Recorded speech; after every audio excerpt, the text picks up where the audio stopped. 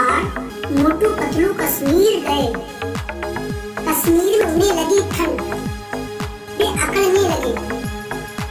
फिर उन्होंने सोचा कि हमें यहाँ पर किसी को लूटना चाहिए तो वे ठिठरा रहे थे उन्होंने एक व्यक्ति को मारा, फिर हंसने लगे। फिर वे वहाँ से भागने लगे। साइकिल से वे चलने लगे।